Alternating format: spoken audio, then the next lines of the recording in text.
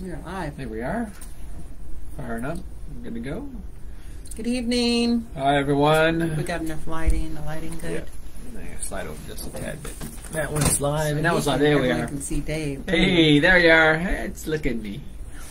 Good evening, everyone. This is uh, I am Dave, and this is my beautiful wife, Marcia Ann, we are the Condens. and this is our uh, Thursday night Unstuck Unplugged.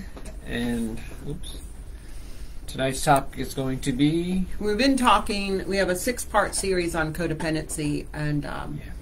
this week's topic will be on boundaries because that's one area that, as a codependent, uh, you, I know for me, I didn't even know what boundaries was. no, we didn't. I didn't have any boundaries. you don't you're not taught boundaries growing up so therefore you're not going to even know how to establish them or what they look like um, boundaries might even be in a sense something you don't like. You know because that's the thing with somebody who has we'll say part of their codependency and one of the traits is a need to fix and control and make everything look just so so they feel safe. Um, that is a coping um, I guess a coping mechanism or way of coping that they established as a child to help feel safe, and so they just take that into adulthood too. Right. If everything's So- in order, we are good to go. Yeah, that's where a lot of times you know the obsessive compulsive disorders come in. Uh, you know, it's like I, I need to stay and keep everything lined up and everything dot my i's, cross my t's, and then because there's something within you that feels unsafe.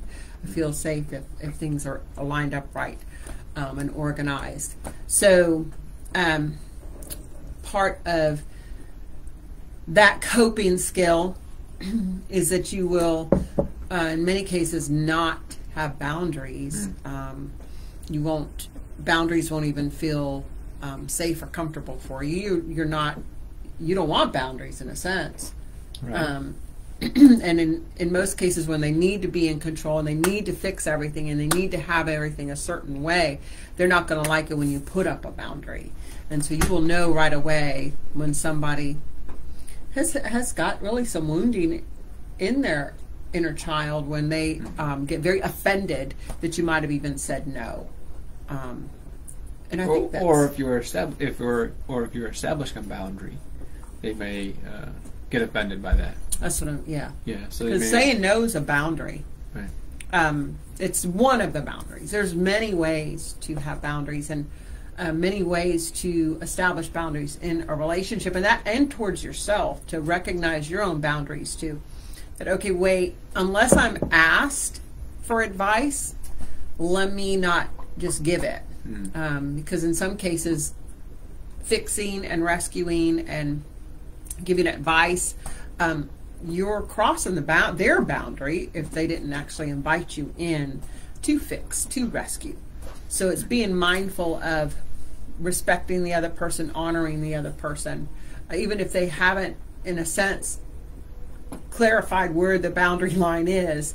You though can establish your own healthy boundaries um, and be mindful of when you possibly are crossing someone else's. I mean, we know simple boundary cross is, of course, if somebody is uh, spoken curse words at you, they've been toxic with their tongue, they might even physically um, push you or shove you or do so. That's definite a definite boundary Crossing crossing. boundary right there. That's very obvious.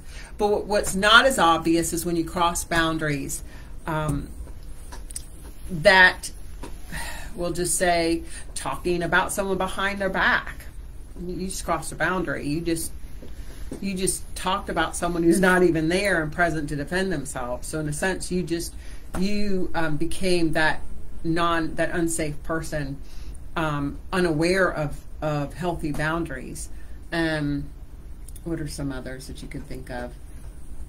Not one of the you know crossing a boundary is also not um, being honoring and respectful to the other person you're in a relationship with and just saying yes for the two of you and you didn't even ask that's overstepping your boundaries you just crossed into a place that is is for that person to decide um, and those are things that we can do we're not even aware of um, but most of the things with codependency just giving 13 warning signs of codependency um, one you have trouble articulating your feelings and emotions. Um, so if you cannot articulate your feelings and emotions, you're not going to be able to establish boundaries in that area. And to be able to say, "Ooh, you just crossed a boundary because um, you just, you know, I was trying to share my feelings with you um, the best I could, and you just shut me down." There's a boundary crossing that the other person is doing, and if you don't even know how to articulate your feelings, there's no way that you can even establish that boundary where that person's going to even know, oh, wait, I crossed a boundary, because it's up to us to inform the other person. Hey, um, I'd like to speak here. I need to share my heart. Are you willing to listen? And you can have this adult conversation uh, instead of one person dominating the other. There's no boundaries there. Um, you, too, you want to be liked by everyone. No boundaries. You don't care who's going to come into your life. I'm an open door. Just everybody come in, even if you're toxic and you have a history of um, alcoholism, drug addiction, wife beating, whatever, or, you know, um, we see with the Amber Heard trial. I mean, this is someone with unhealthy boundaries. And just let everybody in. When the healthy, a healthy person is going to say, wait a minute, I am worthy and I want healthy people in my circle. So I don't, I'm going to be a little, you know, cautious about a person uh, welcoming them in, welcoming them into my inner circle first. I'm going to set up some healthy boundaries. And it's not that you're being standoffish, it's that you're being healthy and you're thinking in a healthy way and what is best for you. You can jump on in here anytime, I could. Mr. D.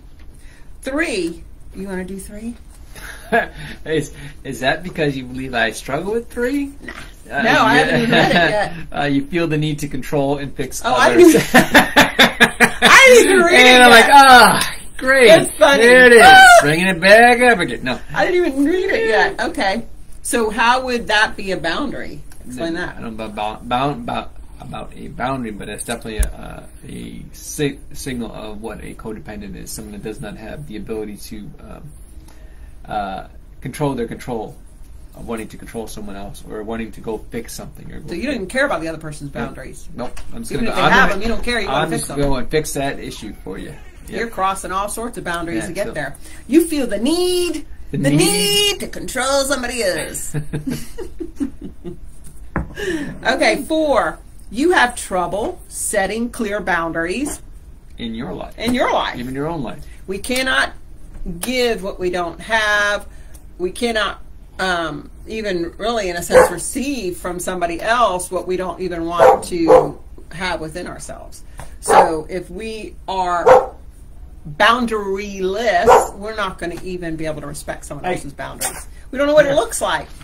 And that's where you show yourself grace because it's like, wait, if I wasn't taught it in my family of origin and you did not see your parents demonstrate healthy boundaries with each other or siblings or brother and Ellie, she does not understand her boundaries right now, um, then you're not going to know to do that as you get older. So it is something you have to re- reteach yourself. Like we had to reteach ourselves this. We read some great books.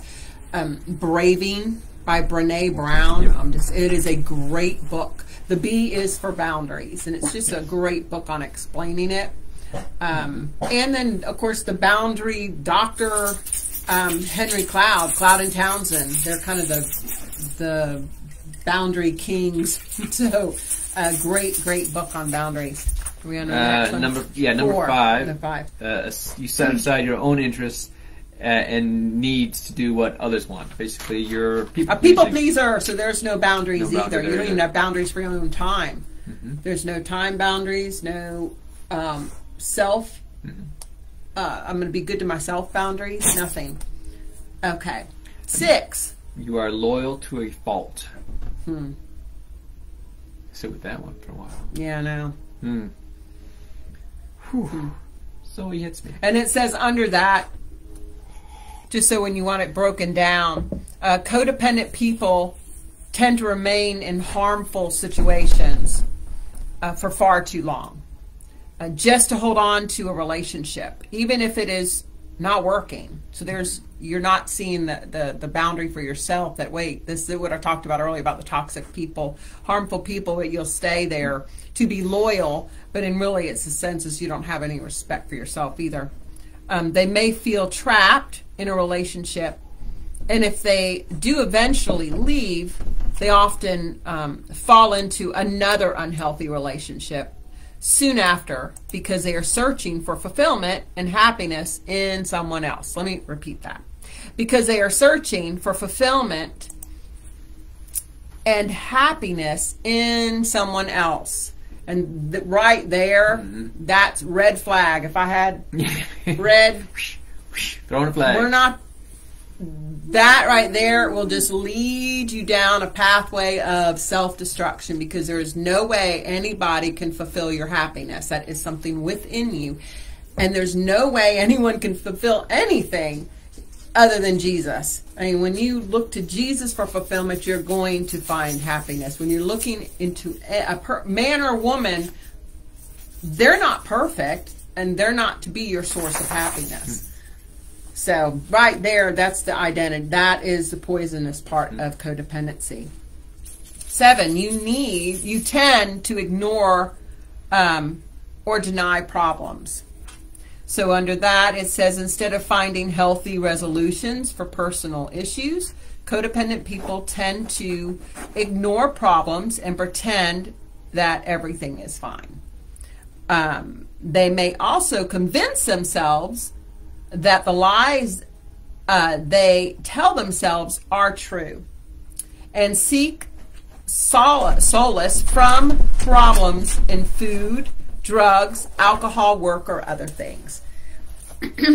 so that is where I've even I know I've talked about where you'll justify even what you're doing. You'll justify your sin. You'll you'll you'll make excuses for it. It's obvious to everybody else, but to someone walking in this where you, you ignore and deny your own problems. It's the denial part of an addiction. Eight. Uh, you suppress thoughts and feelings out of fear or guilt. So basically, instead of expressing your anger or hurt, you uh, will suppress those emotions and not uh, bring those out. So basically, what you're doing is you're shutting yourself down. Mm-hmm. Yeah. And in many cases, that happened because you were shut down in in your mm. family of origin. You were you were made to feel well. No one can make you feel guilty, yeah. but you were told you can't. You don't mm. have a mm-hmm. voice. You know. I don't. You know. Yeah. Um, what is the one that I know I've talked about? You won't. Um, you want something to cry about? By that, I'll give you something to cry about, or you're not speak unless spoken to. Those right there are not setting up even being able to handle emotional boundaries. It's like, okay, mm. I'm angry right now. I want to tell you, I've talked yesterday, the other thing on feelings are like the weather subject to change. They're not to be something that you um, are grounded in and found there's your foundation. And I'm established in this emotion because it's not going to be a solid foundation. And so if you, the, the Bible, and nowhere in the um, in Genesis does it say that God uh, did not um, was not pleased with the way He created man. And, and matter of fact, in everything he created, he would say, and it is good. But after he created Adam, he said it is very good. So within Adam was emotions, and they were very good. Hmm. Uh, what becomes bad, or what we can create then and make our emotions bad, is, is of course if we sin by them, where therefore if we don't have healthy boundaries and we allow the emotion to reign, we get angry, but then we sin in our anger. Uh, we get jealous and we sin with the jealousy. We get envious, we sin with it. Um, you know, lust, greed, however you might. There, some of them start their innocent emotions, but we can then take it too far and we can then sin within these emotions. So there is a boundary. Being able to say, oh, I feel sad right now. Let me process through that. Let me process through it in a healthy way. If I can't figure it out, let me ask someone to help me. So you're doing it in a healthy way and you've established healthy boundaries within your emotions so that they don't um, run all over you and then run all over somebody else, which then you haven't established healthy boundaries for them either. You've just vomited on them. Therefore, you didn't care about what their boundaries were. you know what you have to own and you don't own someone else's. Um, this kind of go. Where were we? Which one was that one? Uh, low self. That was the other one. Okay, that was eight. Okay, so nine is you have low self esteem and self worth, which that pretty much. Um, instead of developing a true sense of self worth, codependent people may build up artificial self esteem and self worth from helping others. So you're getting fed by people pleasing, and that's how you're getting your uh, accolades and your um, you cope even by doing that. So when you're not doing that, you're going to be at a loss. You're not going to even know how to do really do life. Um, and there's the boundary too, where not I can't say no to anyone. I've got to people please, so I'm just going to say yes, yes, yes, yes. I haven't established healthy boundaries for myself. Even God knew that He had rest on the seventh day. He worked for the six. He rested on the seven. He knew what His boundaries were and what His limits were. Okay, 10. You feel responsible for other people's feelings and actions. Yeah, because you're that powerful. Hmm. I'm just going to say that and let that sit there for a while. Yeah, you're responsible for everybody's feelings and actions because they don't need Jesus. They don't need to go to Him. But since people pleasers and fixers need that to feel better about themselves, they, in a sense, build themselves up. And there's an underlying issue there, or something deep within that they need that. It's a need now. It's it's a, it's a need where um, they need to be wanted. They need to be the person to go to to to make it all better. But you're you're taking it's once again you're not uh, understanding your boundaries and and where you're crossing them. And um, I don't if they haven't asked me, then I don't have to step over and do anything. And I can be okay with that. I can be okay not being asked. I can be even okay not being asked to a party or a wedding or something because it's, it's okay. I don't, I'm not, um, my existence and who I am isn't defined by that. You got anything to add to that? I know. Okay. Um, you have poor communication skills. That's right. You don't even know what you feel. You've been in many cases told how to feel or not told how to feel. Boys don't cry. Don't you shed a tear. I'll give you something to cry about. Or they're told that you're weak because you cried. So that's in the sense, There's they're right there. You automatically believe the lie, and so therefore you suppress those emotions. But they, they're going to go somewhere, so they just sit inside and eat away. Um, you, Twelve. You are withdrawn and depressed. Um, this often occurs in the late stage of codependency. Codependent people tend to um, isolate themselves, neglect their responsibilities, um, become lethargic and depressed, or develop mental problems on an um, an addiction to things and or alcohol. So there's there's even where you're you That's can a coping be, mechanism. yeah, still once again coping. But bottom line is, um, you're withdrawn and depressed because you haven't learned how to process through your emotions. You're taking on everybody else's stuff. You feel responsible for it all.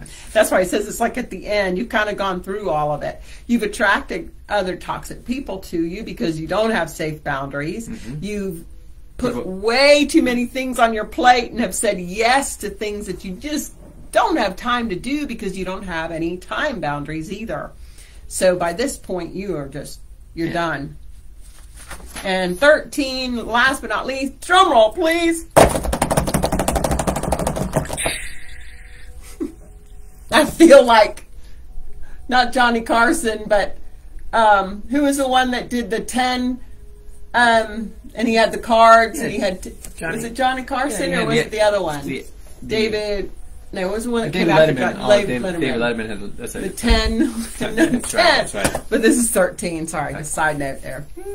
Uh, you, re- you refuse to seek help because you feel like the problem isn't bad enough.